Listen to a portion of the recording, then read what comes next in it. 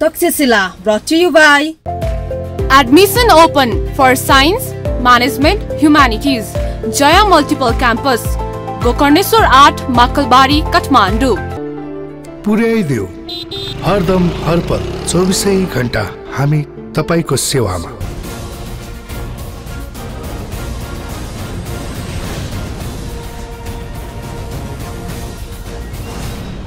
नमस्कार तक्षशिलामा यहाँलाई हार्दिक स्वागत छ। म प्रकाश गिरी। तक्षशिलाको आजको अङ्कमा हामी कुराकानी गर्नेछौँ हृदय त्रिपाठीसँग। उहाँसँग अहिले एउटा नयाँ राजनैतिक दल छ जनता प्रगतिशील पार्टी। त्यो पार्टीलाई उहाँले नेतृत्व गरिराख्नु भएको छ मङ्सिर चार गते निर्वाचनको घोषणा गरेको छ। स्थानीय तहको निर्वाचन उहाँहरूले फेस गरिसक्नु भएको छ। स्थानीय तहको निर्वाचन फेस गरेर अब प्रदेश र प्रतिनिधि सभाको निर्वाचनमा जाँदै गर्दा बनेको यो नयाँ पार्टीको लक्ष्य के छ? यसले हिँड्न खोजेको बाटो कस्तो छ? आज हामी त्यसमा विस्तारपूर्वक छलफल गर्नेछौँ। तपाईँलाई स्वागत छ। धन्यवाद। नयाँ पार्टी नै जन्माउनु भयो तपाईँ आफैले आफै प्रमुख भएर। यो आवश्यकता चाहिँ किन पर्यो होइन म पार्टीको अभावले गर्दाखेरि यो नयाँ पार्टीको जन्म भएको होइन। मूल कुरो के भने सिद्धान्तको राजनीति पार्टीहरू समाप्त गर्न थालिसके मैले भन्न बडा स्पष्ट भन्दैछु कुनै पनि पार्टी छैनन् सिद्धान्तमा रहेर। वैचारिक राजनीतिक बहस समाप्त भइसकेको अवस्था छ। र मूल त प्रकाशजी के छ भने वर्गीय हिसाबले भन्ने हो भने हरेक वर्गको प्रतिनिधित्व गर्ने पार्टीहरू आफआफै निर्माण भयो। एउटा वर्ग यस्तो रह्यो किसान जसलाई सबैले भातृ सङ्गठनको रूपमा मात्रै अगाडि बढाउन थाले। जबकि त्यो मातृ सङ्गठन हो र यो मुलुकको पैँसठी पर्सेन्ट जनसङ्ख्या किसानले ओगटेको छ। वर्गीय हिसाबले किसान विचारको हिसाबले शून्यता र अर्को पनि म भनिहालौँ कि मैले नै नेतृत्व स्वीकार गर्न सक्ने कोही जीवित प्राणी मैले देखिनँ जसलाई मैले आदर्श मानौँ। अहिले भएका अहिले पार्टीहरूमा भएका पात्रहरूमा। अब मतलब अलिकति इगो भयो कि चाहिँ। इगो होइन। किनभने। मैले कसलाई मैले आदर्श मानेर नेतृत्व त्यो गरौँ? मोहन ठाकुरलाई हामी मैले आदर्श मानेर त्यो गरेका थिएँ हो तर उहाँ आफै टिकाउन सक्नु भएन उहाँ आफै गएर अरू पार्टीमा गएर मिसिँदै मिसिँदै मिसिँदै अहिले उहाँको हालत त्यो छ। कम्युनिस्ट पार्टीहरूमा अलिकति पुराना नेताहरूमा भनौँ न अब विशेष गरी केपी ओली र माधवजी दुईजना हुनुहुन्छ। केपी ओलीजीसँग अलिकति हाम्रो सामिप्यता चुनावी सामिप्यताहरू पनि रह्यो एमालेको नेतृत्वसँग। यता काङ्ग्रेसमा कुनै पनि वैचारिक गिरिजाबाबु पश्चात वैचारिक नेतृत्व गर्न सक्ने अथवा नेतृत्व गर्न सक्ने सबैले नेतृत्व गर्न सक्ने व्यक्तिको अभाव पनि रह्यो। त्यस कारणले पनि मैले के भनौँ भने कमसेकम आफ्नो विचारलाई र हाम्रो लाइक माइन्डेड साथीहरूको विचारलाई एक ठाउँमा राख्न सकिन्छ।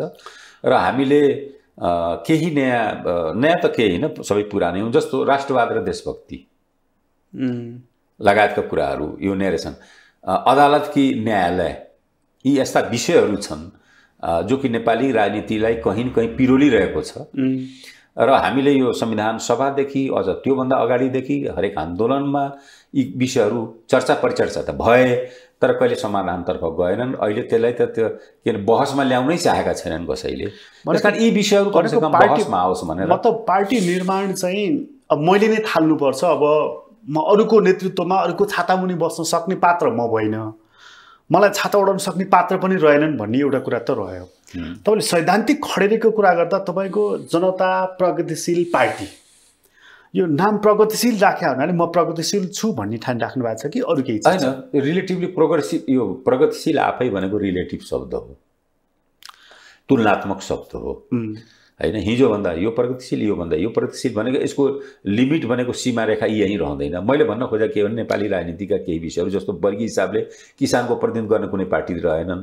त्यस्तै वैचारिक रूपले मैले केही राष्ट्रवाद र देशभक्तिका विषयहरू जुन छन् संविधान निर्माण गर्दाखेरि देखेका मेरो अनुभवहरूको आधारमा मैले के भन्छु भने सायद अहिलेका जति समस्याहरू देखा परिरहेछन् त्यो त्यस बेलाको समस्या हुन्। संविधान निर्माण गर्दा निर्माण गर्दाखेरिको जुन फास्ट ट्र्याकमा जुन फुर्तीका साथ म यो राष्ट्र यो राष्ट्रवादकोमा र यो संविधानमा म आउँछु। त्योभन्दा अगाडि तपाईँको पार्टीले समेट्न खोजेको चाहिँ कुन वर्गलाई? किसान। शुद्ध रूपले किसानलाई। किसान वर्ग जो संसारमा के हुन्छ भने हरेक किसान। उहाँ नाम राख्नुभयो मैले त किसान पार्टीको नाममा राखेको छैन मैले वर्गको रूपमा राखेको छु। यहाँ के छ भने नाम राखेर अलम ल्याउने एउटा कुरा छ। तर मैले प्रग ने- जनता प्रगतिशील पार्टीमा किसान नाम त छैन नै। किसान उसको वर्ग हो मूल वर्ग। किनभने संसारका जति उत्पादनकर्ता छन् आफ्नो उत्पादनको मूल्य आफै निर्धारण गर्छन् किसान बाहेक। हामीले एउटा पेनको उद्योगमा जाने हो भने उसले उत्पादन गर्दाखेरि उसले परल मूल्य ट्याक्स उसको नाफा गरेर एमआरपी भनेर उसले मूल्य उसैले निर्धारण निर्धारण गर्छ। र किसानले उत्पादन गर्छ मूल्य निर्धारण बिचौलियाले गर्छ। उखु होस् धान होस् गहुँ होस् तोरी होस् जेसुको साग होस् तरकारी होस् उसले उत्पादन गर्छ। कुनै पनि किसानले उत्पादन गरेको मैले यो मूल्यमा बेच्न सक्छु भने यदि उसले दावा गरे पनि उसले बेच्न पाउँदैन। बजारले निर्धारण गरिदिन्छ बिचौलिया निर्धारण गरिदिन्छ। भने यो यो जुन सम र हाम्रो देशको समस्या भने अर्थतन्त्र मैले यो खालि सामान्य मैले हेरिरहेको छैन। यो यो यो यो जुन तपाईँको राजनीतिक कर्मक्षेत्र छ नि नवलपरासी उखु त त्यही नै उत्पादन हुन्छ। अनि म देशभरिको किसान कुरा गर्दैछु। मिल त त्यही छ नि। ती मान्छे रोएको पनि देख्नुभयो होला उखु उखु उखु उखुको त हामी पीडितै हो। होइन उखुको त पीडित। धानको पनि पीडित हो। जब हामी धान उत्पादन गर्छौँ सस्तोमा व्यवसायीले खरिद गर्छन् उपभोक्ताले पनि महँगोमा चामल खरिद गर्नुपर्छ। बिचको बिचौलियाले नौ दस टका बिचौलियाले चाहिँ त्यो किसान र उपभोक्ताको बिचमा खडा हुन्छन्। ती नाफा जति तिनले गर्छन्। लगानी गर्ने मेहनत गर्ने किसानले पाउँदैन। उपभोक्ता फेरि महँगोमा पर्छ। हो यो बिचको जुन मैले प्रकाश मैले भन्दा खोजेँ भने यो यो बिचको अर्थतन्त्र नेपालको अर्थतन्त्रको सबैभन्दा ठुलो दुरावस्था मेरो सार्वजनिक लेखा समितिको जीवनको अनुभवको आधारमा भन्दैछु। अर्को पनि भन्दैछु यो चाहिँ अलिकति अनौठो लाग्ला मान्छेलाई। हामीले किस कृषिमाथिको लगानी र किसानमाथिको लगानी फरक छ। कृषिमाथिको सबै लगानी किसानमाथिको लगानी होइन। सैकडा अठार प्रतिशत किसानमाथि लगानी छ। बयासी पर्सेन्ट चाहिँ कृषिमाथिको लगानी। जस्तो कृषि मन्त्रालयले दसवटा पराडो खरिद गर्यो कृषिमा लगानीमा जान्छ। कृषि मन्त्रालयका कर्मचारीहरू कम्प्युटर खरिद गरे त्यो कृषिमाथिको लगानीमा जान्छ त्यो किसानमाथिको लगानीमा होइन। समस्या के छ भने यो विश्वमा अन्य देशमा पनि यो समस्या थियो। हामीमा त अझ छँदैछ कृषिमाथिको लगानीलाई हामी आफ्नै पिठुमा आफै हातले स्याबसी दिएर बस्यौँ। किसानमाथिको लगानी भएन। अठार प्रतिशत सैकडा अठार प्रतिशत मात्रै कृषि मन्त्रालयको बजेटको जम्मा किसानमाथिको लगानी। यी यी कुराहरूलाई मैले कस्तो- हावादारी कुरा मैले गरिरहेको छैन बुझेँ मैले। अनुभवको आधारमा मैले। बुझेँ तपाईँ त्यत्रो पटक सांसद भएको सार्वजनिक लेखा समितिमा बसेको पटक पटक मन्त्री भएको। मानिसलाई मैले यो भनिनँ तर हामी कस्तो देशको बासिन्दा अथवा हामी कस्तो सत्ता सञ्चालक भन्दाखेरि किसान मल पाउँदैन उत्पादन गर्छ मूल्य पाउँदैन मूल्य निर्धारण हुन्छ पैसा पाउँदैन त्यस्तो त्यस्तो देशका बासिन्दा एउटा। इमान्दार करदाता र भलादमी मतदाताको रूपमा राज्यले लिएको हुन्छ हाम्रो किसानलाई। होइन? गाउँमा बसिरहेछ धेरै उसले जन्माइरहेछ फेरि सबै यहाँका ठुला बडा जसले जति सोध्ने भने म त किसानको छोरा भनेर बडा गर्वले भन्छन् सबैले। आफ्नो त्यो त्यो हेरिडेटरी अथवा त्यो जेनेटिक्स त्यहाँ जोड्न खोज्छ कि म त किसानको छोरा। प्रधानमन्त्रीदेखि लिएर प्रधान न्यायाधीशदेखि लिएर जो जति छन् सब हामी त किसानको छोरा भैँसी चराएर आएको मान्छे। गर्व गर्ने तर त्यो किसानको हालत के छ? यहीँ धादिङमा उत्पादन भएको पाँच रुपियाँको तरकारी पन्चानब्बे रुपियाँ यहीँ के अरे बल्पु र कालीमाटीमा आइपुग्दा। कालीमाटीमा आइपुग्दा। बिचमा कसले खायो? किसानले पाँच रुपियाँ पायो उपभोक्ताले पच पच पन्चानब्बेमा किने। नब्बे रुपियाँ गयो कहाँ? तपाईँहरूलाई त थाहा छ नि यो बिचौलिया थाहा भएर बिचौलिया मात्र होइन बिचौलियाका कति लेयर छ पनि एक्ज्याक्टली नि। थाहा भएको हुनाले मैले भन्नु खोजेँ अहिले पनि तपाईँ संसदमा हुनुहुन्छ हिजोसम्म मन्त्री यति मात्र ती- अर्को अर्को पनि म भन्छु अर्को मैले यसका विकृतिहरू अर्को अब नेपालका ब्याङ्किङ सेवा। हामीले अनु के भनेको छ भने दस प्रतिशत नीतिगत हिसाबले कृषिमा लगानी गर्नुपर्छ भनेर हरेक ब्याङ्कले। कुनै पनि ब्याङ्कले गरेको छैन दस पर्सेन्ट लगानी। अब त्यो बढेर अझ बाह्र पर्सेन्ट पन्ध्र पर्सेन्ट भएको छ रे। सुनेको मैले त्यो मैले पढ्न पाएको छैन। बट किसानमाथि तिनले पनि लगानी गर्दैनन्। एउटा कृषि विकास ब्याङ्क भन्ने थियो। त्यो कमसेकम कन्सन्ट्रेटेड थियो। तर एउटा डाक्टर डाक्टर अर्थमन्त्री आउनुभयो विद्वान। उहाँले के भयो भने यसलाई पनि व्यावसायिक ब्याङ्क बनाउनु पर्यो। भने व्यावसायिक बनाइदिउँ न किसान त्यहाँबाट पनि वञ्चित भयो मैले समग्रतामा मैले अब यी सबै कुरा गर्ने भने म त एक डेढ घन्टा राम्रैसँग बोल्नै सक्छु तथ्य र तथ्याङ्कका साथ बोल्न सक्छु। यो प्रश्न के हो भने तपाईँको पार्टीले अब मूलत किसानका यी यस्ता समस्याहरू चाहिँ उठाउँछ। एक्ज्याक्टली यही हो। यो पार्टीको वर्गीय आधार यो हो। र राजनैतिक आधार हाम्रो सङ्घीय लोकतान्त्रिक गणतन्त्र समग्रमा र समाधानको लागि जबरजस्त सम समाधानको बाटो छ। विकल्पका साथ हामी उठाउँछौँ यसलाई। विकल्प छ संसारमा यो पहिलो र अन्तिम समस्या होइन दुई तिनवटा कुरा जस्तो उदाहरण मूल्य मूल्य मूल्य निर्धारणको लागि। मूल्य। निर्धारण बडा बडा स्पष्ट छ यसमा। एउटा उच्च स्तरीय मूल्य निर्धारण आयोगको गठन हुन्छ। संसारमा धेरै चोट धेरै फेरि त्यो ठाउँमा पनि जागिर खुवाउने कुरा अनि जागिर खुवाउनु हुने। त्यसमा किसान प्रतिनिधिहरू हुन्छन् त्यहाँ एक्सपर्टहरू हुन्छन् ती बेतलबी हुन्छन्। संसारमा छ यो कुनै महाराष्ट्रमा महाराष्ट्रको तत्कालीन मुख्यमन्त्रीले उखुको एउटै समस्या खालि यही मूल्य निर्धारण एउटा आयोग गठन गरेर गरिदिइहाले नत्र सयकौँ किसान गर्थे। हाम्रो त मूल्य निर्धारण गरेर पनि उखुको मूल्य पैसा नपाएको समस्या होइन। त्यस्तो होइन त्यस्तो मूल्य नै हामीले के गर्छौँ भने सरकारी निकायहरू चिनी उत्पादकहरू सङ्गठित हुन्छन्। तिनसँग किसान त सङ्गठित उम्, होइन? अनि उनीहरूको प्रभावमा परिहाल्छ। एउटा कुरा। मूल्य निर्धारण गर्न ढिलो गर्छ। एक। त्यसो अनुदान दिन पनि सरकारले के गर्छ भने त्यो त्यही मिलहरूलाई अनुदान दिन पैसा पठाउँछ। म एउटा रहस्य उद्घाटन के गर्छु भने मेरै जिल्लामा एउटा मिल छ जसले आफ्नो उत्पादनभन्दा बढी चोरी निकासी गरेर चिनी इन्डियाबाट ल्याउँछ। पैठारी गरेर इन्डियाबाट चिनी ल्याउँछ। आफ्नो उत्पादन डबल देखाउँछ। किन देखाउँछ डबल? जुन अनुदान पैँसठी रुपियाँ एक क्विन्टलमा सरकारले किसानलाई दिने भनेको छ नि त्यो त उसको चोखो भयो नि त्यो उत्पादन। त्यो किसानबाट ल्याएको होइन।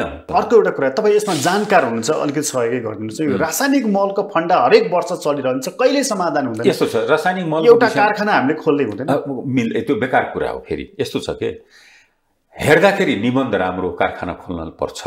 निबन्धको लागि बहुत राम्रो चिया गफको लागि पनि राम्रो। त्यसलाई चाहिने त्यसको लगानी र त्यसको पावर आदि इत्यादि त्यो उत्पादन भइसकेको कारखानाको बाँकी बचत मल हामी कहाँ बेच्ने? समस्या त्यहाँनिर छ कि?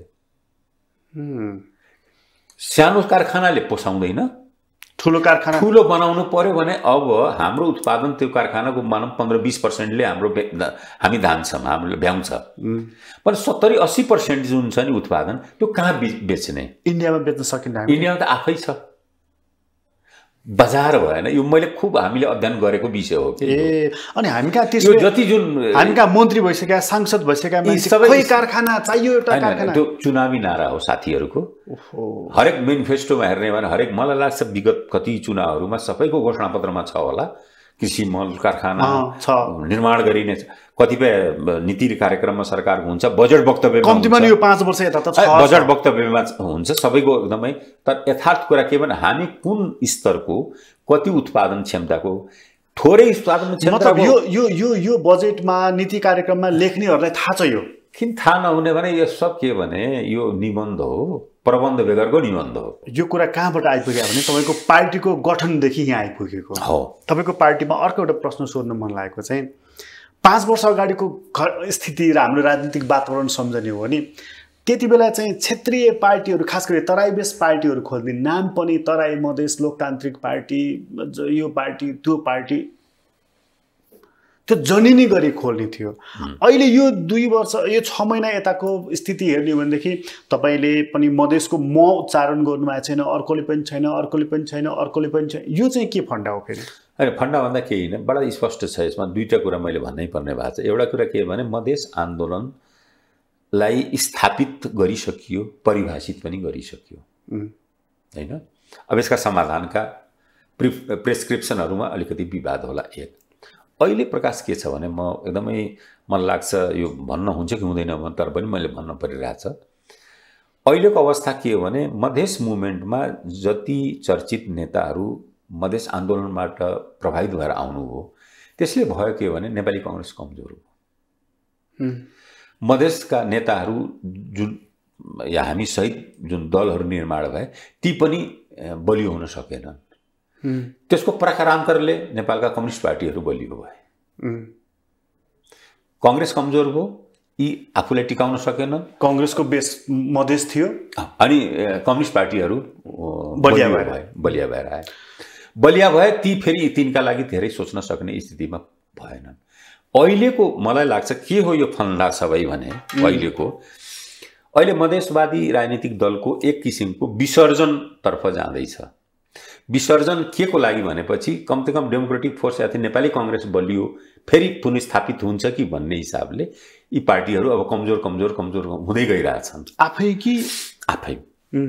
आफू आफ्नो करतुत लगायत लगायत सबै पनि सबै छ त्यसमा। एउटा उदाहरण म दिन्छु। दुई हजार चौहत्तरको चुनावमा स्वतन्त्र राजनीतिक समूह जो हामी म ब्रजेश गुप्ता ईश्वर दयाल मिश्र पशुपति दयाल लगायतका हामीले नेकपा एमालेसँग चुनावी हामी सम्झौता दुई बुँदे गऱ्यौँ निर्वाचन चिन्ह प्रयोग गर्ने र देशमा विद्यमान यो विभेदहरूको विरुद्धमा समूह सम संयुक्त रूपले सङ्घर्ष गर्ने भनेर। त्योभन्दा अगाडि एमालेको अवस्था के थियो भने ठ्याक्क हाइवेभन्दा दक्षिणतिर जान सक्ने उसको अवस्था थिएन। यथार्थ थियो। यथार्थ कुरो यही हो। त्यो सम्झौता र त्यसको सम्पूर्ण बाण मैले बेहोरेँ एक्लै। मधेसी राजनीतिक कर्मी मधेसी बुद्धिजीवी मधेसी। जनताको बाण मैले बेहोरेँ ए ए, मधेस विरोधी एमालेसँग यसले चाहिँ सम्झौता गरे भनेर। तर बाटो के खुल्यो भने एमाले दक्षिणतिर जाने। बाटो त्यसैले एमाले त पूजा पूजा गर्नुपर्छ हाम हाम्रो चाहिँ। तर मैले भन्न खोजेँ। त्यस- त्यसको ठिक विपरीत तर्क के भयो भने हृदय त्रिपाठीले चुनाव जित्ने स्थिति नबनेपछि सूर्य चिन्ह दान लिएर चुनाव जिते भनेर। एमालेहरूले त्यो बोले अनि एमाले होइन त्यो चुनावभरि त हृदय त्रिपाठीसँग हामी मिलेर लडिरहेछौँ भनेर दक्षिणतिर माधव नेपाल होस् केपी ओली या जति जति जति जति या यहाँसम्म कि प्रचण्डजीहरू पनि वाम गठबन्धन हुँदाखेरि विशेष गरी दुई नम्बर प्रदेशमा त्यस बेला उहाँहरू भाषणमा मेरो नाम नलिकन त कहाँ त्यस बेला उहाँको भाषण पुनः हुन्थ्यो र भने। किन त्यो अवस्थै त्यस्तै थियो। Anti communist sentiment anti MLA sentiment Madhesi जनतामा पर्याप्त थियो र यो फेरि ऐतिहासिक कारण छ। म म भन्दैछु यो- तपाईँहरूसँग भएको तर त्यो भइसकेपछि- दुई बुधे सम्झौताको मार्फत उहाँहरू पनि जान पाउनु उहाँहरू तर बोर्डरसम्म छिर्न पाउनुभयो। पाउनुभयो तलसम्म जान पाउनुभयो एउटा कुरा। अब अब एउटा तर मलाई यसमा चाहिँ कुनै ऊ छैन। मलाई समस्या कहाँनिर हो भने किन मैले यो कुरा उठाइरहेको छु? कहाँनिर छ यो समस्या मधेसको? मधेसको समस्या देशको समस्या हो भनेर मान्यता। लाई स्थापित गरेर मैले गर्न खोजे हो। मधेसको समस्या मात्र मधेसको समस्या होइन है।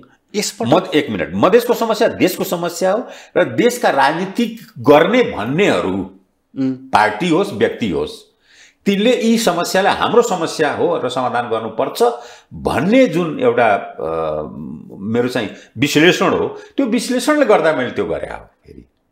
र आखिरमा आएर त्यही प्रमाणित भयो। त्यस बेला मलाई आलोचना गरे उपेन्द्र यादवजीहरू मोहन ठाकुरजीहरू कसरी आलोचना गर्नुभयो? उहाँहरू दुइटै मिलेर दुई नम्बर प्रदेशमा उहाँहरू मिल्नुभयो अरू प्रदेशमा त मिल्नु भएन। चुनावमा चाहिँ एन्टी तर सरकारमा सबभन्दा पहिले को गयो उपेन्द्रजी जानुभयो। केपी ओलीजीको सरकारमा सबभन्दा पहिलो जाने ह- हुत्तिएर जाने त उहाँ। म त सरकार बनेको झन् जाने बिस बाइस महिनापछि मैले जोइन गरेँ। संसदमै थिएँ। जसलाई उहाँहरूले धेरै आलोचना त्यसपछि बाँकी रह्यो अर्को राजपा अथवा अहिलेको लोसपा जसपाको एउटा खेमा। एउटा खेमा। मन्त्री लगायत लगायतको खेमा। उहाँहरू पनि सरकारमा जानुभयो। अब त्यो अलग कुरो हो कि अदालतले अठार दिनमै त्यो त्यो- त्यसलाई चाहिँ त्यो पुनर्गठनलाई अवैध साबित गरिदियो। तर उहाँहरू पनि जानुभयो। मैले भन्न खोजेको विषय के हो भने यहीँनिर म भन्दैछु। मधेसको राजनीतिको सोसल इन्जिनियरिङ या आर्किटेक्ट गजेन्द्र बाबु सँगसँगै हुँदाखेरि म नै थिएँ। म बाहिर अहिले पछि त कसैले त्यो गर्नै सकेका छैन। त्यसैमा बसिरहेछन् त्यसैमा आफ्नो धन्दा पानी गरिरहेछन्। मैले त्यस बेला यो देशको समस्या हो त्यस कारण हामी मिलेर जानुपर्छ देशका राजनीतिक दलहरूसँग मिलेर जानुपर्छ भनेर भन्दाखेरि म आलोचित भएँ। पछि उहाँहरू सबै फटाफट फटाफट त्यही बाटोमा आउनुभयो होइन? अब अहिले आएर चाहिँ एउटा गठबन्धनको म फेरि अब आउँछु यहाँ यहाँनिर। गठबन्धन को राजनीति स्वाभाविक हो म भन्छु नेपालको हाम्रो संविधानले यो बाध्यता उत्पन्न गराएको छ। कसरी स्वाभाविक यो? दुईवटा कुरा। ए, हाम्रो निर्वाचन प्रणालीले एउटा प्रत्यक्ष एउटा समानुपातिक। समानुपातिक जहाँ दुइटै मिक्स हुन्छ त्यहाँ कसैको बहुमत आउँदैन। अब रह्यो बहुमत नआउने भएपछि सरकार बनाउनु त गठबन्धन त चाहियो। अब सर गठबन्धन पनि चुनाव पछि। परिणाम आउँछ त्यो स्वाभाविक। चुनाव अगाडि नै। गरिने अब गठबन्धन त आवश्यकता किन भयो भने हाम्रो निर्वाचन प्रणालीले गर्दाखेरि चाहे त्यो सरकार बनाउने बेलामा होस् या पहिले होस् गठबन्धन भन्ने चिज त चाहियो सरकार बनाउने बेलामा या निर्वाचन पछि पछाडि हुने गठबन्धन अवसरवाद हो वास्तवमा गठबन्धन होइन त्यो जनताद्वारा अनुमोदित हुँदैन। बरु प्रि इलेक्सन इलेक्सन पहिलेको गठबन्धन जुन छ त्यो कमसेकम एउटा समान विचार राखेका हुन्छ समा साझा एउटा कार्यक्रम राखेका हुन्छ जसलाई हेरेर जनताले भोट दिया हुन्छन्। हिन्दुस्तानमा पनि एनडिए युपिए छ। एकदम फिक्स छ। चुनाव अगाडि नै उनीहरूको फिक्स हुन्छ। त्यही अनुसारले अ, ऊ- जो बहुमत पाउँछ उसले सरकार बनाउँछ। जो अल्पमत हुन्छ हाम्रोमा पनि चुनाव अगाडि नै गठबन्धन. गरेर त्यो स्वस्थ हो। इन्डोर्स भएको राम्रो त्यो राम्रो। त्यो स्वस्थ गर् त्यस कारणले कुनै पनि गठबन्धन हिजो पनि वाम गठबन्धन थियो। थियो। वाम गठबन्धन चुनाव अगाडि बनाएको थियो। कमसेकम अनु अनुमोदित थियो। यो चुनावमा चाहिँ अब तपाईँ कुन गठबन्धनपट्टि लाग्ने त त्यसपछि अहिले त तटस्थ हो। अहिले कुनै गठबन्धनको यताको पाँच। दलीय गठबन्धनपट्टि यस्तो छ पाँच दलीय गठबन्धन गठबन्धनमा अब विभिन्न दलहरू अब आवेदन दिएका छन्। त्यहाँ त्यसै बेरोजगारीको सम झन्झट छ धेरै। होइन? सिट कम छ। त्यसका दावेदार धेरै छन्। बेरोजगारहरू छन् त्यो बौलाएर हिँडिरहेछन्। एकले अर्कालाई घु धम्काएर हिँडिरहेछन् घुर्क्याएर हिँडिरहेछन्। ल खबरदार छोड्दै यो क्षेत्र मैले देखाइदिन्छु उसले भन्छ उसले उसले भन्छ। त्यो त मैले देखिरहेको छु। पात्र त उही त हो आखिरमा। होइन सँगसँगै गाई चराएको कृष्णमा कन्हैया अहिले भइजानु भएको छ। उहाँहरू सँगसँगै गाई चराएको त हो नि। त यसपटक चाहिँ अघिल्लो पटक वामपन्थीहरूले जिताए जस्तो यसपटक कङ्ग्रेसले जिताउने अभिभार आइलागेको छ। यस्तो छ। ठिक हो। कहीँ न कहीँ के छ भने मैले दुईवटा कुरा देख्छु। एउटा कुरा के छ भने अहिलेको कङ्ग्रेसको प्रयास के? कङ्ग्रेसले सोचेको के भने वामहरू एक ठाउँमा नआउन्। किन त्यसको चाहिँ चौहत्तरमा मार खाइसकेको छ नि? तेइसमा झरेको सिधा कुरा हो। यो धेरै लुकाएर यो राजनीति भनेको यति पारदर्शी चिज हो। यसले जति लुकायो त्यति आफैलाई घाटा लाग्छ। पारदर्शी पनि हो पाखण्डी पनि हो नि। त्यो हाम्रो पक्ष। हामी कहाँ यस्तो छ पाखण्ड जहाँ राजतन्त्र बढी समयसम्म टिक्या हुन्छ नि त्यहाँको राजनीति त्यहाँको समाज सबै पाखण्डी भएर जान्छ। यो अलग म यसमा बहस गरौँला यसको अलग साहित्य छ फेरि।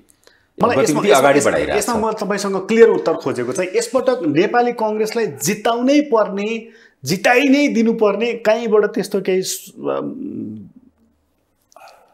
आकाशवाणी भएको छ। यस्तो छ। प्रकाश दुई तिनवटा कुरा हामीले आफै आफैले के बुझ्नुपर्छ भने नेपालका जति चुनाव भएका छन् अब पञ्चायती चुनावको कुरा म गर्दिनँ त्यो कङ्ग्रेसको नेतृत्वमा भएको छ। कारण के हो? एकाधवटा चाहिँ त्यो लोकल इलेक्सन मात्रै अरूको नेतृत्वमा भयो। तर अधिकांश निर्वाचन कङ्ग्रेसकै नेतृत्वमा भएको छ। के कारण? यसको कारण के भने यसको अन्तर्राष्ट्रिय मान्यताको प्रश्न हो। कङ्ग्रेस पहिलेदेखि डेमोक्रेटिक क्रेडेन्सियल लिएको पार्टी भएको हुनाले मिसिएर त्यसमा कम्युनिस्टहरू पनि छन् अरूहरू पनि छन् सरहन्छन् तर सरकारको नेतृत्व चाहिँ। उसले गर्छ। कङ्ग्रेसको अवस्था के हो भने अहिलेको जुन हिजो वाम गठबन्धनबाट ऊ प्रताडित थियो अहिले उसले अर्को गठबन्धन नभनाइ भएको छैन। होइन? अनि त्यो गठबन्धनमा उसलाई फाइदा के भन्नु? दुईजना वाम टोपीधारी वाम कम्युनिस्ट यहाँ प्रजातन्त्रवादी कति छन् कति छैनन् त्यो पछिको कुरा हो। यो निर्वाचनमा चाहिँ कङ्ग्रेसलाई जिताउनै पर्ने भन्ने म्यान्डेट चाहिँ कसले दिएको मैले होइन म्यान्डेट त कुरो आएन। एउटा एउटा कुरा अब यहीँनिर म भन्छु हिन्दुस्तानको स्वर्गीय प्रधानमन्त्री अटल बिहारी वाजपेयी आइपियु कन्फरेन्समा हामी गएका थियौँ अस्ट्रेलिया। माननीय अर्जुन नरसिंह केसी पनि हुनुहुन्थ्यो। अनि त्यसपछि हाम्रै जिल्लाको मान्य मजिलाल थ- थारू थनेत एमालेको सांसद पनि हुनुहुन्थ्यो त्यो आइपियु डेलिगेसनमा। र बेनीबहादुर कार्कीजी हाम्रो लिडर हुनुहुन्थ्यो त्यस बेला राष्ट्रसभाको अध्यक्ष। राष्ट्रिय सभाको त्यो अनि अध्यक्ष। त्यो बेलामा चाहिँ उहाँ इन्डियाको चाहिँ डेलिगेसन लिडर भएर वाजपेयी आउनुभएको थियो अटल बिहारी वाजपेयी। कुरा गर्दा गर्दा एउटा कुरा भन्नुभएको थियो अहिलेसम्म मेरो उसमा छ। हामी दक्षिण एसियाका मान्छे हामी दक्षिण एसियाका नेताहरू आफ्नो कर्मको फल लिँदैनौँ विपक्षीको दुष्कर्मको फल लिन्छौँ। कुरो बहुत गहिरो छ। त्यस कारणले कम्पिटिसन दुष्कर्मको हुन्छ। अहिले हिजो वाम गठबन्धनले नेपाली कङ्ग्रेसको विफलताको या दुष्कर्मको लाभ लिएको हो। नेपाली कङ्ग्रेसले केही पनि गरेन संसदमा चुइक्क केही पनि गरेन। सरकार उसको हातमा छ आइलाग्यो। उसको कर्मले होइन नि। उसको दुष्कर्मले। उसको दुष्कर्मले। अहिलेको चुनाव पनि अधिकांश हरेक चुनाव हामी कहाँ के हुन्छ भने आफ्नो कर्मले दावा गर्ने कोही माइका लाल छैनन् भन्न खोजे। विपक्षीको दुष्कर्मको लाभ अस्तिको वाम गठबन्धनले मत प्राप्त गर्यो उसको दुष्कर्मले सरकार ढल्यो अब उसको त्यही दुष्कर्मको परिणामले अहिले कङ्ग्रेस सरकार बने पनि छ अब यो गठबन्धन पनि बनाएको छ त्यसैको कारणले गठबन्धन पनि बनाएको छ त्यसै त्यही आधार त त्यही हो नि। त्यही त्यही धागोले पर्सिको चुनावमा पनि परिणाम ल्याउँछ भन्ने तपाईँको तर्क। अब अब परिणाम त अब जनताको हातमा छ तर। के छ भने आफ्नो कर्मले न त हिजो कसैले खाएन त आज भोलि कसैले खानेवाला तपाईँ चाहिँ विपक्षीको दुष्कर्मैले खानेवाला हुन् साथीहरू। तपाईँ चाहिँ कस्तो मान्छे भने मैले बुझिकन मार्क्सवाद पढेको लोकतन्त्रवादी मान्छे। हो। अनि मार्क्सवाद यस्तो छ मार्क्सवाद आफै लोकतन्त्रवादी हो। मार्क्सवाद सही म त म यसो भयो दुई चारवटा किताब मैले पढेँ म त युनिभर्सिटीमा पास गरेँ नि मार्क्सवाद। बुझेँ तर मलाई त्यो थाहा छ त्यसको असली। तपाईँ अनि प्रचण्डजीहरूलाई लोकतन्त्रवादी भन्नुहुन्छ कि के भन्नुहुन्छ अनि यसो छ अहिले जति आए लोकतन्त्रमा विश्वास गरे जति यो संविधानमा आए जति निर्वाचन प्रक्रियामा आए निर्वाचनको माध्यमद्वारा हामी आफ्नो भूमिका निर्धारण गराउँछौँ भने जो आए सब लोकतन्त्रवादी। ए। यो यसमा धेरै धेरै अरूभन्दा धेरै सङ्कुचित भइराख्नु पर्छ। धेरै रिलेटिभ हुनु त्योभन्दा बढी अरू कसले के के गरेछ त फेरि? एउटा प्रश्नको बारेमा पनि तपाईँसँग चर्चा गरिहाल्नु यो नागरिकता सम्बन्धी विधेयकले साह्रै जोर आइराखेको छ खास गरी शीतल निवासको तापक्रम शीतलबाट चाहिँ एकदम उष्ण भइराखेको छ। प्रकाश यस्तो यस्तो कुरा छ के संविधानमा एघार तिनमा एउटा व्यवस्था के छ भने जन्मको आधारमा नागरिकता प्राप्त गरिसकेका सन्तान तिनका बाउ र आमा नागरिकता प्राप्त गरेका छन् तिनले वंशज दिइनेछ। त्यस विषयमा नागरिकता सम्बन्धी कानुन छैन। त्यस्ता छ लाख मान चान्चुन मान्छे छन् रे। ती जसको जन्मको आधारमा आमाबाउले पाइसके छोराछोरी नागरिकता नपाएर बसेका छन्। तिनलाई के गर्ने भनेर बडा सिम्पल कुरो म भन्छु। यसमा धेरै म किन सबै यो यो पात्रहरूलाई मैले चिनेको हुनाले होइन? सबै पात्र यी पक्षका सबै सबैलाई यहाँ सबै- यहाँ यहाँ सबैलाई तपाईँ म- तर म- म देखिरहेको छु म भन्दैछु, म काठमाडौँको सडकमा एउटा राष्ट्रवादी छ अर्को उग्र राष्ट्रवादी छ अलग कुरो अर्को चाहिँ म बहस गरौँला। एक दिन राष्ट्रवादको विषयमा मात्रै राष्ट्रभक्त र देशभक्ति के हो त्यसमा बहस गरौँला। यस विषयमा म भन्छु एघार तिनमा व्यवस्था छ कानुनमा छैन त्यो व्यवस्था। केपी ओलीजी नै सरकारमा हुँदाखेरि एउटा विधेयक प्रस्तुत भयो। हामी संसदमा थियौँ। विधेयक प्रस्तुत भयो समितिमा गयो। समितिमा गइसकेपछि त्यो विधेयकले नखुलाएका विषय त्यहाँ थप गर्न खोजियो। कानुन संविधानले के भन्छ? संविधानले कानुन अनुसार यो गर भनेर भनेको छ। त्यसको लागि कानुन विधेयक गयो। अनि जुन अन्य विषयहरूलाई त्यहाँ समितिमा थप्न कोसिस गरियो त्यो पनि सहमतिमा होइन। त्यसमा नोट अफ डिसेन्ट लेखेका छन् त्यहाँ समितिका सदस्यहरू। म एउटा संशोधनकर्ताको हैसियतले म त्यो समितिमा गएको थिएँ त्यो बेकार कुरा हो कि सहमतिमा भएको छ भने होइन। त्यहाँ नोट अफ डिसेन्ट समितिको प्रतिवेदन पढियोस् नि त्यहाँ नोट अफ डिसेन्ट छ। राज्य। व्यवस्थामा। राज्य व्यवस्थामा। त्यो भइसकेपछि के भयो भने कुरो मिलेन। कुरो मिलेन वास्तवमा नमिलेपछि तत्कालीन नेकपाको सचिवालयमा गयो कुरो। राज्य व्यवस्थाबाट। राज्य संसदको मिलेन। राज्य व्यवस्था समितिबाट नेकपाको सचिवालय सचिवालयमा उहाँहरू लग्नु भएछ न न न, यो त गर्नुपर्छ भने सचिवालयले निर्णय गरेपछि।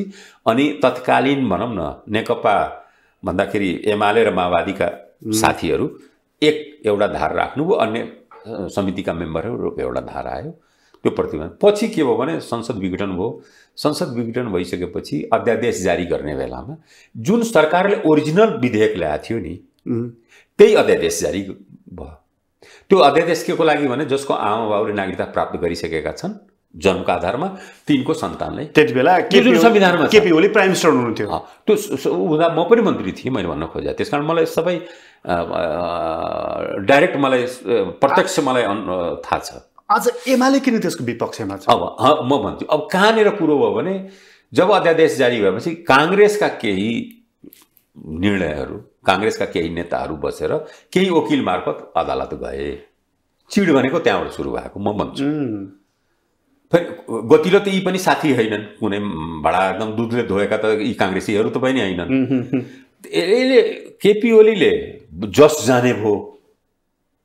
संविधान कार्यान्वयन गर्दा जस अब जसको कुरा हुन्छ यही हो बुद्धि।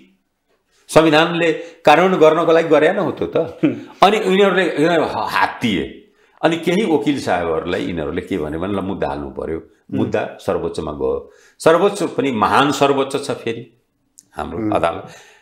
अदालत न हो न्यायालय त होइन नि। न्यायालय पो न्याय गर्छ। अदालत फैसला दिन्छ ऊ त अदालतले एक थान फैसला दिने हो। उसले एउटा महान एउटा के गर्यो भने यो चाहिँ अहिले तत्काल कार्यान्वयन नगर्ने भनेर उसले चाहिँ रोकिदियो रोकियो। ठिक?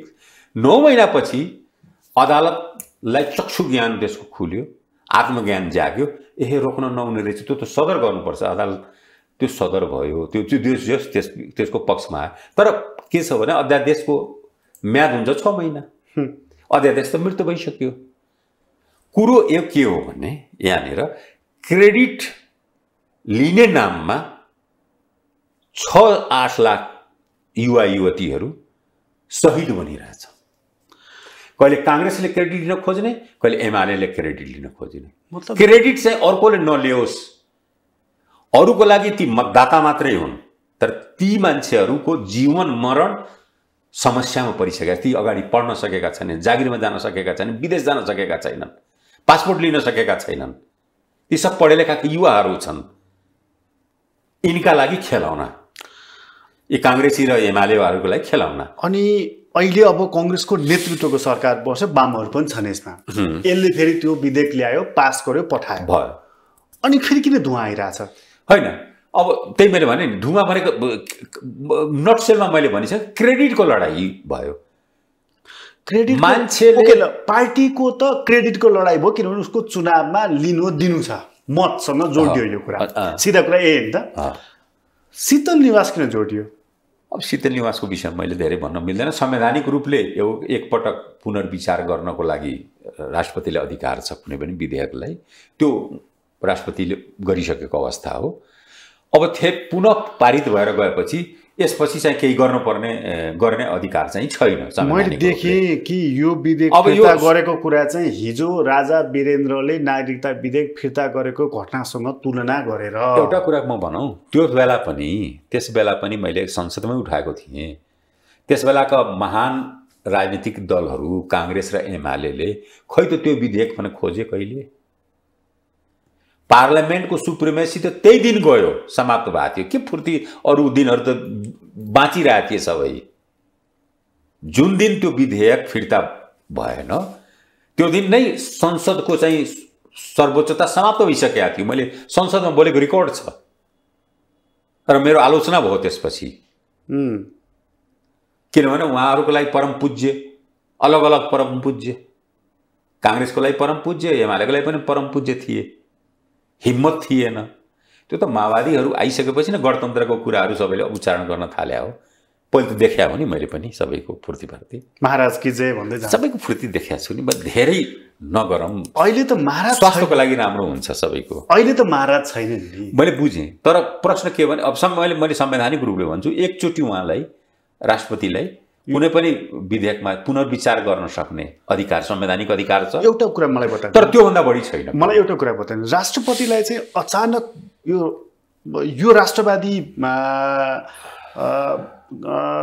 म पनि त्यही तहको राष्ट्रवादी हुनुपर्छ भन्ने कुराले सतायो वा यस्तो छ साँच्चीकै यो विधेयकमा कैफियत छ यसपटक संसदले छलफल गरोस् एउटा-। कुरा प्रकाशमा भन्छु है। हाम्रो संविधानमा कसैको परिभाषा छैन। परिभाषा कसको छ भने बाहुन छेत्री तिमीहरू गिरी के अनि एउटा सन्यासी। को मात्रै परिभाषा छ कि यी जात मात्रै संवैधानिक जात हुन्। अरू चाहिँ अरू असंवैधानिक जात हुन्। संविधानमा छ। म म- त संविधान पढ्ने मान्छे म संविधानमा अनुसार हिँड्ने मान्छे त संविधान बनाउने मान्छे होइन म संविधानमा खस आर्य भन्नाले बाहुन छेत्री दशनामी ठकुरी बाहुन छेत्री दशनामी ठकु जनाउने छ भनेर। यी बाहेक त अरू त अवैधानिक हुन् नि। यी वैधानिकता प्राप्त जातहरूलाई जे पनि गर्न मिल्छ जे पनि गर्न मिल्छ त्यसमा किन आश्चर्य? म जस्तो मान्छे त आश्चर्य मान्दै मान्दैन। राष्ट्रपतिको यो यो जुन फिर्ता गर्ने एक पटक फिर्ता गर्ने उहाँलाई संवैधानिक अधिकार छ। दोस्रो पटक उहाँलाई त्यो मिल्दैन। परामर्श चाहिँ अनि परामर्श सेनाका आफ्नो- जर्नेल सर्नेल परामर्श जे गरे पनि भइगयो त्यो चाहिँ संसदको विषय राज्यको विषय यो- व्यक्तिगत यो- उहाँहरूको हो। अहिलेको सेना सेनाका चाहिँ नि एउटा चाहिँ विशिष्ट अधिकृतहरूसँग उहाँले गरेको छलफल चाहिँ तपाईँले सामान्य रूपमा लिइराख्नु? म यस्तो छ कि मैले सेनालाई नै मैले मैले देखाएको छु नि। सेनालाई गणतन्त्र आएपछि बिचरा सेना पनि बल्ल अलिक सास फेर्नेवाला भए। न त यही सेना होइन जसको चाहिँ विदेशमा गएको विदेशमा जाँदा शान्ति सेनामा जाँदाखेरि कटौती गरेर दरबारमा जान्थ्यो पैसा। होइन? यही सेना त हो नि त्यस कारण त्यो मैले केही देखाएको छैन त्यसमा राष्ट्रपति अर्कै मुडमा अर्कै अर्कै मुडमा यो हप्ताभरि चल्यो नि। उहाँ यही मुद्दालाई टेकेर राजीनामा दिँदै हुनुहुन्छ यसपछि राजनीतिमा सक्रिय जीवन फेरि आरम्भ गर्दै हुनुहुन्छ यो हप्ताभरि चलेको कुरा यस्तो। छ यस्तो छ। अब जहाँसम्म सक्रिय जीवनको कुरो हो त्यो व्यक्तिको उसमा निर्भर गर्छ। व्यक्तिको आफ्नो सोच आफ्नो गरिमा आफ्नो चाहिँ चरित्र आफ्नो नैतिकता धेरै कुरामा निर्भर गर्छ। राष्ट्रपतिबाट हटिसकेपछि व्यक्ति अब एउटा चाहिँ परम्परा के छ भने मान्छे यस सबमा इन्भल्भ हुँदैन। अहिले नै हाम्रै राष्ट्रपति रामवरणजी त इन्भल्भ हुनु भएको छैन नि।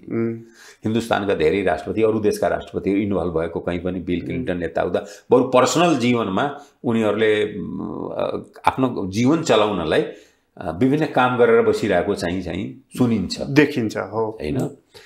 भने तर अब राजनीतिक रूपले सक्रिय हुने नहुने भने व्यक्तिको चरित्र नैतिकता भनेको निहायत व्यक्तिगत विषय हो कि? मतलब- संसारमा कुनै ट्याब्लेट पनि छैन इन्जेक्सन पनि छैन लगाइदिएपछि चरित्र। मतलब राष्ट्रपति भइसकेका मान्छे पुनः सक्रिय राजनीति गर्छु भन्दा पनि रोकिँदैन। अनि रोक्ने कसले त अब त्यसो भए? आफूले न नरोकेपछि अरूले रोकेर मिल्दैन नि। ऊ त राष्ट्रपतिबाट हटेपछि ऊ त सामान्य नागरिकको रूपमा एज ए होस् नाग तर हो। तपाईँलाई यस्तो लागिरहेछ राष्ट्रपतिले नेकपा एमालेलाई मङ्सिर चार गतिको निर्वाचनको लागि राष्ट्रवादी छवि बनाइदिने एजेन्डा दिनुभयो भनेर। मलाई त लाग्दैन। त्यो त्यो बरु नेकपा एमालेकै साथीहरू चाहिँ अहिले के छ भने एजेन्डा खोजी सबैलाई सङ्कट छ कि? राम्रो काम गरे पो एजेन्डा प्राप्त हुन्छ। काङ्ग्रेसलाई पनि सङ्कट छ एमालेलाई पनि सङ्कट छ माओवादीलाई पनि सङ्कट छ सबैले सङ्कट छ। एजेन्डाको। एजेन्डा। किन राम्रो काम गरे पो आफूसँग गरेको कामको एजेन्डा हुन्थ्यो नि। अब यहाँ एजेन्डा नक्कली रूपले खोज्नुपर्ने यो नक्कली खोज भइरहेछ चारैतिर। यो सबै छन् त्यसमा। सब परेशान छन् एजेन्डा नपाएर। राम्रो काम यो नागरिकता एउटा एजेन्डा राम्रो काम गर्यो भए यो नागरिक- एजेन्डा हुन्थ्यो नि। यो नागरिकता एउटा एजेन्डा हो दलहरूको यसपल्ट खास गरी एमालेको। होइन मलाई के लाग्छ भने एजेन्डा त होइन अरूको लागि जीवन मरणको विषय हो।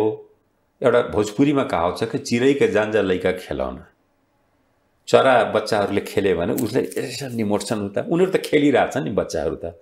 त्यो बिचरा चराको चाहिँ ज्यानै जान्छ। दुर्दशा।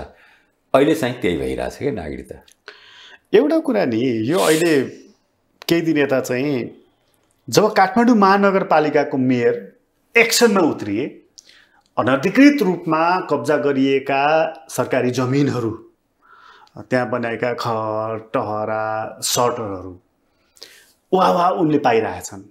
एमालेका कति नेताहरू जब त्यो अल्फाबिटाको काण्ड आए त्यसपछि उनीहरू उद्वेलित भएर आइरहेका छन् राम्रो हुँदैन भनिरहेका छन्। तर प्रश्न नि तपाईँ आफै पनि भौतिक पूर्वाधार मन्त्री हुनुभयो। बाबुराम भट्टराई प्रधानमन्त्री हुँदाखेरि तपाईँ भौतिक पूर्वाधार मन्त्री हुनुहुन्थ्यो जस्तो लाग्छ मलाई। हो त्यही बेला यदि तपाईँहरूले प्रपर्टी यसरी अनधिकृत रूपमा कब्जा गरेर बनाएका संरचनाहरू बनाउनै नदिएको भए बनाएकोलाई भत्काइदिएको भए आज यो स्थिति आउँदैन थियो नि। यो प्रश्न बाटो- चाहिँ चौडा गर्ने अभियान थियो हाम्रो मेरो चाहिँ। त्यसमा पनि अब, ठुलो राजनीतिक प्रतिरोध थियो। स्वयं प्रधानमन्त्री पनि बाबुरामजीको पनि सुरुमा इच्छा थिएन। उहाँले हामी त अरिङ्गालको के गोलोमा ढुङ्गा हान्यौँ काङ्ग्रेस एमाले दुइटै बाहिर छ सरकार तपाईँले के गर्दै हुनुहुन्छ भने के अरे हिसिलाजी र उहाँ दुइटैले भन्नुभयो। मैले पनि तपाईँले हात दिनुहोस्। मैले गैर कानुनी केही गर्दैन। जब सफल हुन थालेपछि उहाँ क्रेडिट लिन दौडिन थाल्नुभयो। क्रेडिट त सोलो क्रेडिट त बाबुरामले लिनुभयो। लिनुभयो। उहाँ स्वाभाविक प्रधानमन्त्री हुनुहुन्थ्यो। मिडिया ब्युरोक्रेसी सबै उहाँको मधेसीले कसले क्रेडिट दिन्छ ए प्रकाश? बडा सिम्पल कुरो छ नि यहाँ त। मधेसी भनेर मात्र क्रेडिट नपाएको हो। तपाईँ त गरे त मैले हो। तपाईँ त त्यो घेराभन्दा ग- गरे मैले हो। लेखा समितिमा मैले गरेको काम कोही माइका छन्? गर्न सकेका? कसैले दिन्छ क्रेडिट मलाई? थाहा छैन मलाई। त्यो पीडा छैन मलाई। कुनै अपराध मैले अहिलेसम्म गरेको छु राजनीतिक जीवनमा। कुनै भ्रष्टाचारको कलङ्कसम्म माथि अरू पूजा गर्थे। मलाई थाहा छ सबै। मतलब यो बाटो ठुलो बनाउँदाखेरिको सुरुको सोच तपाईँको? हो नै हाम्रो। उनीहरू त विरोधमा थिए सुरु सबै। मलाई त बोलाएर नै भने अरिङ्गालको गोलामा कुनै ढुङ्गा मतलब सबै यो उखानहरू नेपाली आउँदैन। मैले भने हो के यो त? काङ्ग्रेस पनि बाहिर छ एमाले पनि बाहिर छ हामी यो गर्दाखेरि ठुलो प्रतिरोध हुन्छ। भन्दाखेरि त नहातिनुहोस् प्रतिरोध भयो? भयो। अब ठाउँ ठाउँमा भयो सामान्य प्रतिरोध भयो। तर कुरो के हो भने जब सफल भएपछि क्रेडिट लिनलाई मैले छोडिदिएँ त्यो बाटो। तर मलाई एउटा एउटा क्रेडिट लिनुहोस् तपाईँ। एउटा कुरामा अर्को कुरो के भन्छु? अहिले अब बालनले गरिरहेको। अब उसले त के कुन कुन गैर कानुनी काम गरिरहेछन् त उनी? अतिक्रमण गरेका फेरि सबै चिठी लेखेका छन् रे यति दिनसम्म सूचना दिएका छन्। अब अटेरी गर्ने बानी छ। हामी कहाँ अटेरी गर्ने बानी छ? फेरि कुनै कुनै शक्तिशाली नेतासँग शक्तिशाली पार्टीसँग जोडिएका मान्छेहरू त झन् अटेरी गर्छन् ती त आफूलाई त्यही ठान्छन् बालनलाई त पुच्छे ठान्छन्। बालनलाई त फुच्चे ठान्छन्। खुच्चे ठान्छ एउटा मेयरले भोट दिलाउने म त फलाना अध्यक्षसँग फलाना प्रधानमन्त्रीसँग सँगसँगै म बसिरहेको मान्छे हे हेर त यसले त्यो बाटो ठुलो बनाउँदा तपाईँलाई प्रेसर कुन तहको थियो? हरेक तहबाट विरोध प्रतिरोध आउँथ्यो। माथिल्लो तहबाट पनि आउँथ्यो। माथिल्लो तहबाट पनि आउँथ्यो। रोड त तपाईँले लाजिमपाटको रोड पनि गर्नुभयो अनि बानेश्वरको यहाँ त के भन्यो सङ्घर्ष समिति नै गठन भयो लाजिमपाटवालामा। दुई तिनजना वकिल नै डिप्युट भए। सर्वोच्चमा मुद्दा पर्या परै थियो। यहाँका होटलहरू सबैले पैसा उठाएर चाहिँ हुन नदिनको लागि भनेर कसिएर नै त ठुलो प्रतिरोध भयो यहाँ त। त्यो ठुलो प्रतिरोधको नेतृत्व नरडी आचार्य जस्तो विद्वान नेताले पनि गर्नुभयो। त्यो उस खुर्सानी टारवाला बाटोको उहाँको फेरि अर्कै समस्या थियो के बलबहादुर केसी र उहाँ चाहिँ उहाँ थुनामा गएर बसिदिनु भयो म फेरि दौडेर आएर बल्ल बल्ल छोडाएँ मैले भने यार त्यति मात्र होइन यस्तो छ के प्रकाश यो थाहा छ यो यो डबल जीवन दोहोरो जीवन या जिउने मान्छेहरूको सङ्ख्या हामीको अधिकांश छ अघिल्लो पुस्ता कि पछिल्लो पुस्ता पछिल्लो पुस्तामा पनि जस्तो म? म भन्छु। यो प्रसुति गृह पछाडिको बस्ती छ नि त्यसलाई हटाउनको लागि सम्पूर्ण तयारी गरिसकेपछि योगेश भट्टराई र गगन थापा फेरि त्यो आन्दोलन नेतृत्व गरे। थापाथलीमा? हो त थाप्तले त्यो प्रसुति पछाडिको त्यो खोलामा बसिरहेछ नि विष्णुमतीमा। हो। ए त्यस्तो दोहोरो जीवनमा बाँच्ने मानिस थुप्रै छन् है। सबै देखा हो देखेको भोगेको। अनौठो अनि कसै त्यसैले कसैप्रति मेरो चाहिँ एउटा हुन्छ नि यो सम्मान। सम्मान मर्यादा जाग्दैन। किन देखिया छु यसो हेर्छु उही त हो नि। भनेपछि बालनलाई पनि तपाईँले जुन समस्या भोग्नु पर्यो उनले पनि त्यही समस्या भोग्नु पर्नेछ। उनले भोग्छन् उनले भोगाउँछन्। उसलाई कर्मचारीले पनि कति साथ देलान् मलाई भन्न सक्दिनँ। एक त के छ भने स्वतन्त्र जित्यो पार्टीहरूलाई त्यत्तिकै घायल छन्। है? आफ्ना महान महान हस्ती दिँदाखेरि जितेन यो कहाँबाट यो चाहिँ गायक जितिदियो? भने त्यसै घायल छन्। पार्टीको नेतृत्वै घायल छ नेतृत्वहरू नै घायल छन् भने त्यसलाई सहयोग गर्ने अनि ब्युरोक्रेसीका मान्छे त्यो नेतृत्वसँग अलिकति जोडिएका ब्युरोक्रेसी पनि असहयोग गर्छन्। तर मेरो के छ भने उनले राम्रो काम अगाडि बढाउँ कति दिन बसेँ भनेर जरुरी छैन कसरी बसेँ भनेर जरुरी छ कि? तपाईँको समर्थन छ? पुरा समर्थन छ। म कति दिन कुन पदमा रहेँ भनेर मेरो लागि जरुरी होइन। कसरी रहेँ भनेर जरुरी हो कि? उनको चुनावको मुखमा भएको यो हरकतले पार्टीहरूलाई चुनावी क्यान्डिडेट खडा गर्नको लागि खडा गरिसकेपछि जित्नको लागि पसिना छुट्नेवाला छ। त्यति पनि होइन फेरि अब मलाई लाग्छ यो यो फेरि स्वतन्त्रको अब एउटा हाम्रो राष्ट्रिय एउटा चरित्र के हो भने एउटाले चाउचाउ फ्याक्ट्री खोल्यो भने सबै चाउचाउमा आउँछन् एउटाले बियर खोल्यो भने सबै अनि सबै डुब्छन्। त्यस्तै स्वतन्त्र एक दुईजना जिते अब सबै स्वतन्त्रको लहर आयो। बालन हर्क यता। त्यसमा सबै गए सबै अनि त्यसपछि फेरि निराश हुन्छन्। त्यो रिजल्ट आउँदैन। अनि निराश हुन्छन्। अनि के अरे उद्योगहरू डुबे जस्तै। त्यसपछि आफ्नो आफ्नो काममा फर्किन्छन्। राजनीति भनेको हामीले चन्दा पुरस्कारमा गरेको होइन प्रकाश। जेल नेल निर्वासन सबै झेलेका छन् आजको हरेक प्रतिकूलतालाई झेलेका छन्। आजको मितिमा राजनीति कति सजिलो छ? त्यस कारणले मैले भन्न खोजेँ अब कसैले आलोचना गर्न कसैको नेताको आलोचना गर्न सजिलो छ त्यसको पछाडिको सङ्घर्ष एकचोटि बेहोर्न सक्छ कसैले? चाहे शेरबहादुर देउवा चाहे केपी शर्मा ओली यी नेताहरू जति छन् यति वर्ष जेल बसे त्यति वर्ष या छन् रामचन्द्र पौडेल लगायत सबै नेताहरू चाहिँ। प्रधानमन्त्री भए यसलाई त गोद्नुपर्छ यसलाई त यसो गर्नुपर्छ भने एउटा लिहो लिहोवाला जुन छ नि त्यो एउटा त छ। तर ती कति वर्ष जेल बसे कति हाफत भयो तिनको कति परिवारमा मृत्यु भयो औषध उपचारको अभावले भेट्न पाएनन् पढाइ गर्न कति सकस थियो कसैले सोचेको छ र सोच्दैन त्यसै कारणले यस्तै हो जीवन हो समाज यस्तै छ। आज छ। आज चाहिँ राजनीति भने चाहिँ बिना लगानी कस्तो धन आर्जन गर्ने पेसा भनेर मान्छेले बुझेका छन्। ठिक हो। त्यो अहिले इजी मनीको लागि। किनभने राजनीतिक कार्यकर्ता चुनावभन्दा पार पर पर भागिरहेछन् चुनाव यस्तो महँगो भइरहेको छ। स्थानीय चुनाव हेर्दाखेरि पार्टीहरूले पनि सम्पन्न मान्छेहरूलाई टिकट दिएर अनि बरु आफ्नै खर्चले जितिहालोस् भनेर पार्टीहरूको पनि अभियान देखियो। संसदमै हेर्ने हो भने नाम चलेका चाहिँ व्यापारी व्यवसायीहरू विभिन्नहरू विभिन्न पार्टीबाट चाहिँ समानुपातिक मत आएकै छन्। होइन? भनेपछि राजनीतिक कार्यकर्ता त अब चुनावबाट भागिरहेछ। यो हो भने अशुभ सङ्केत हो प्रकाश। अशुभ सङ्केत यस मानेमा म भन्दैछु कि भोलि व्यवस्थामाथि सङ्कट आयो भने फेरि लड्ने उही हामी जस्तै हुन्छौँ फेरि। जेल जाने पनि हामी लड्ने पनि हामी। फेरि यी जुन आफ्नो कारोबारी साथीहरू हुनुहुन्छ नि त्यो न्याय व्यवस्था समर्थन गर्दै अनि न्याय व्यवस्थामा उहाँहरूको चाहिँ फेरि बचाउ कार्यक्रम। यो यो ज्ञानेन्द्र शाहको र केही कालमा यही व्यक्तिहरूको मैले चरित्र देखाएको थिएँ। दीप प्रज्वलन गर्दै। यही देखाएको थिएँ। यही जो अहिले डेमोक्रेट लेफ्ट भनेर आउनु भएको छ पार्टीको तर्फबाट उहाँहरूको त्यस बेलाको धन्दा मलाई थाहा छैन। हामीलाई थाहा छैन देखाएको छैनन् मान्छेले। यो अहिले समग्र सङ्घीयतामाथि प्रश्न कम प्रदेशमाथि बढ्ता प्रहार किन भइरहेको छ? त्यो संहितामाथिको प्रहार हो प्रदेश भनेको त्यो एउटा बाहना। प- प्रदेशमा अनि के हो संहिता त्यसो भए त? ए प्रदेश हटाइदिउँ भने मतलब प्रदेश नाम प्रदेश भनिए तर प्रहार चाहिँ प्रहार संहितामाथि हो। त्यो जान्छ संहिता जाँदैछ?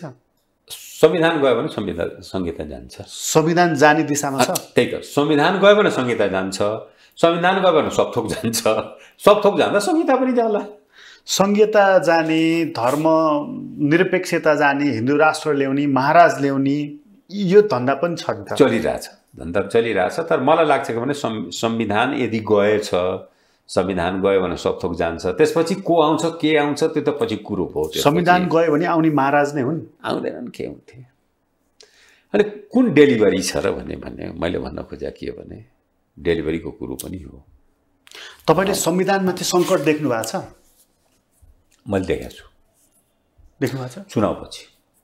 यो चुनावपछि? यो चुनाव भनेको मै मेरो बुझाइ के हो भने एकाउन्न जस्तोको चुनाव हो। त्योभन्दा अगाडि पार्टी र व्यक्तिहरू बदनाम हुन्।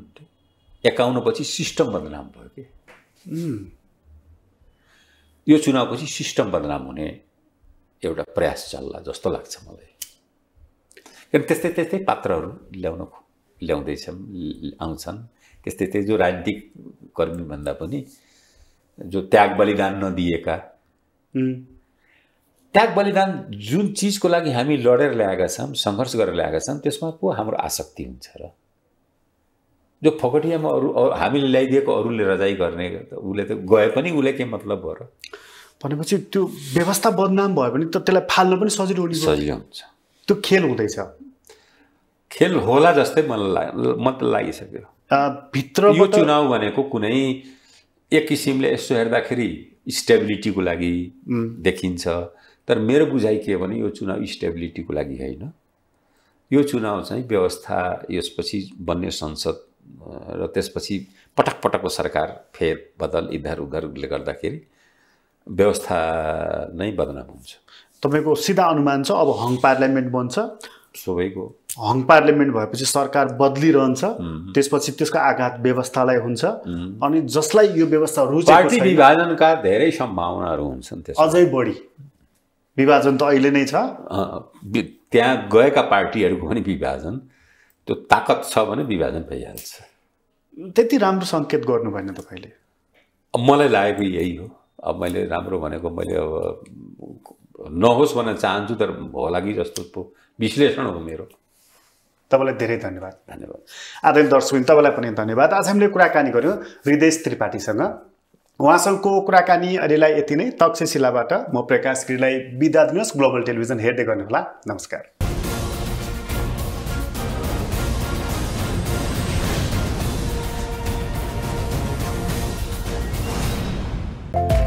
Admission open for Science, management humanities Jaya multiple campus Gokarneshwar आठ Makalbari Kathmandu phone number nine eight five one two two